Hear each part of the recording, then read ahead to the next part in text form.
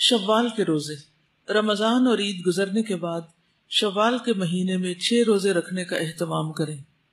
हज़रत अबू अयूब अंसारी से रिवायत है कि बेशक रसूलुल्लाह सल्लल्लाहु अलैहि वसल्लम ने फरमाया, जो शख्स रमज़ान के रोज़े रखकर शव्वाल के महीने में छह रोज़े रखे, उसे उम्र भर के रोजों का सवाब मिलता रहता है।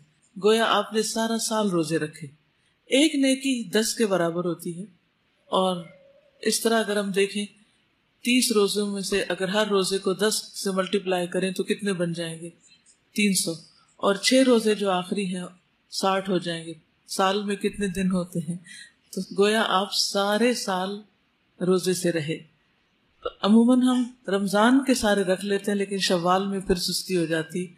तो आपने पहले से ही नियत कर लेनी है और प्लान भी कर लेना कि कब रखने ताकि उस टाइम को आप फिर और चीज़ों से फारिग रखें। एक और जगह पर फरमाया, रमज़ान के रोज़े दस महीने और शवाल के छह रोज़े दो महीनों के बराबर हैं। इस तरह ये एक साल के रोज़े होंगे। ये रोज़े ईद के फ़ौरन बाद या वक्फे के साथ मुसलसल या अलग अलग दोनों तरह रखे जा सकते हैं। कजा रोज़े रमज़ान में किसी भी उजर की बिना पर छोड़े गए रोजों की कजा जल्द अज जल्द अदा करे।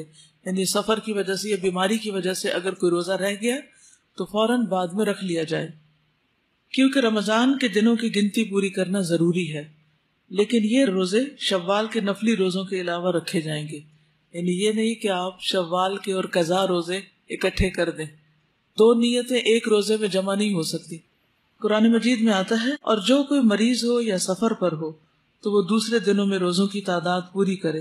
तो गिनती पूरी करना ज़रूरी है। इसके अलावा फिर हर महीने के तीन रोज़े हैं, और हर हफ़्ते के दो रोज़े, जो भी आप चूज़ करें। दोनों तरह रखना चाहें तो बहुत ही अच्छा है। लेकिन अगर इनमें से कोई एक सुन्नत फॉलो करते रहे साल भर तो बहुत ही मुनासिब होगा और इनशाला मुकर्रबीन वाले अमाल में से।